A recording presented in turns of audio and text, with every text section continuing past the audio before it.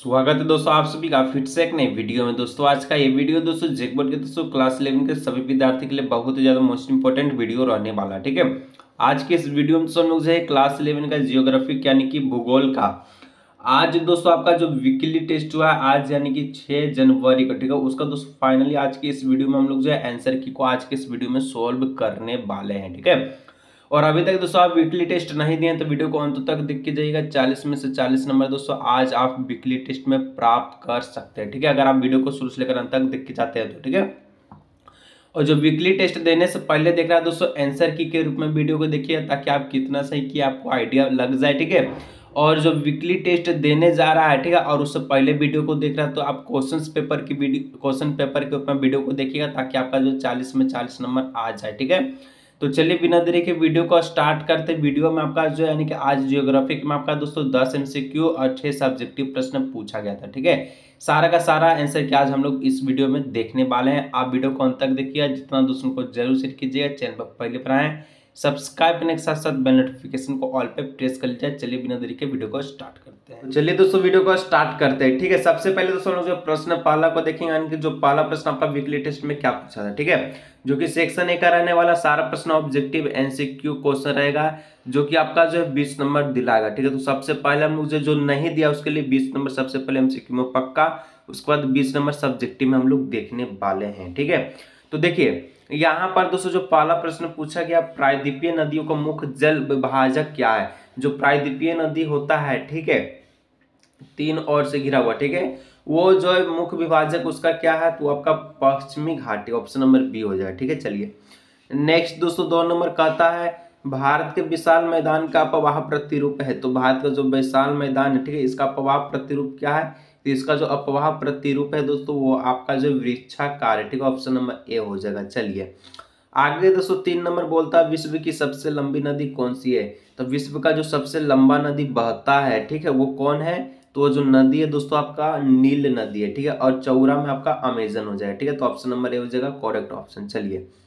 आगे दोस्तों चार नंबर बोलता है भारत की कौन सी नदी कर्क रेखा को दो बराबर भागों में काटती है? तो कौन सा नदी दोस्तों कर्क रेखा को दो बराबर भागों में काटता है? उसका नाम है माही नदी। क्या नाम है? माही। ऑप्शन नंबर ए हो जाएगा करेक्ट ऑप्शन ठीक है, चलिए।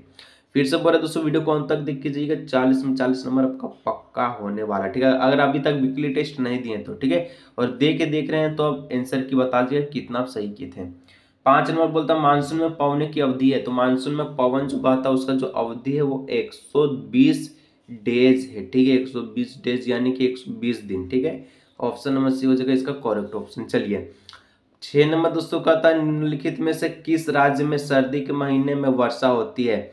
सर्दी मतलब ठंडा, ठीक है? अभी जो जैसे चल रहा है, सर्दी का मौसम, ठंडा का मौसम तो एक ऐसा राज्य है जहाँ वर्षा होता है, ठीक है? बारिश होता है तो ऐसा राज्य है, तमिलनाडु, ठीक है? और आपको पता होगा न्यूज़ आप पढ़ते होंगे, सुनते होंगे तो आपको पता होगा कि तमिलनाडु में बरसात यानी कि ठंडा के दिन में, ठीक है, जो बाढ़ आता है, ठीक है, क्या आता है? बाढ़ आता है। चलिए, आगे दोस्तों नेक्स्ट बढ़ते हैं, सात नंबर।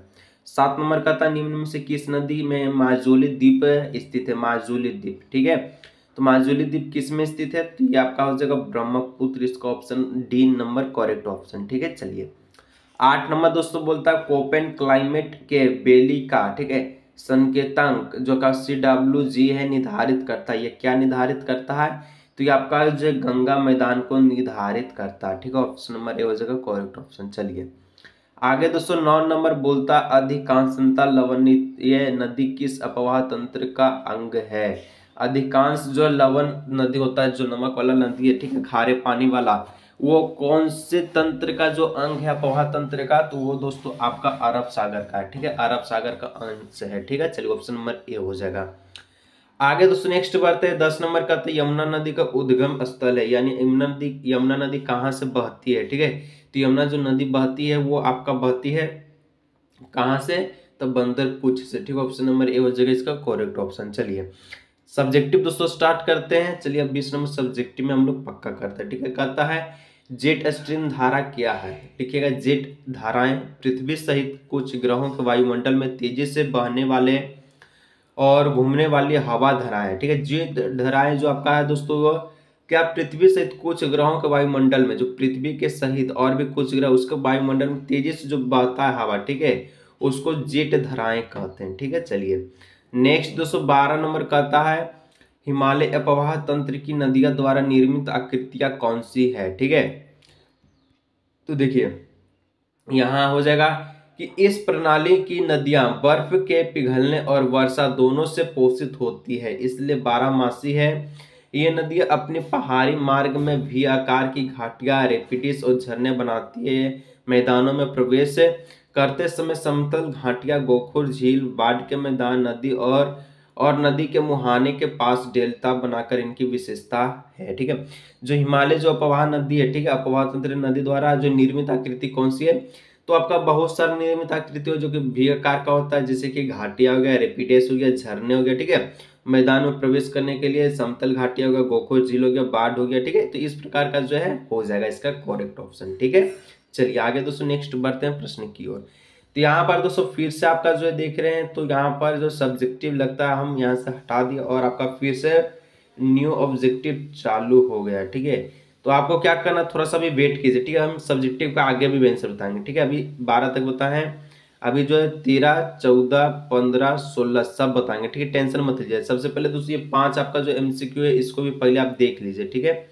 तो पहला प्रश्न कहता है भारत में मानसून प्रवेश करता है तो भारत में जो मानसून प्रवेश करता है, वो जून के महीने में प्रवेश करता है, ठीक है? क्वेश्चन दोस्तों, इधर से उधर हो गया, कोई दिक्कत की बात नहीं ऑप्शन नंबर बी हो जाएगा, ठीक है? नेक्स्ट दोस्तों, दो नंबर का था यहाँ पर नर्मदा हुआ ठीक है? नर्मदा एवं तापी नदी, ठीक है? समुद्र में पुर्तगाल समय किन संरचना का निर्माण करती है? तो ये डेल्टा का, ठीक है? नर्मदा और जो तापी नदी क्या किस चीज़ का निर्माण करती है तो डेल्टा का निर्माण करती है, ऑप्शन नंबर ए हो जाएगा, ठीक है?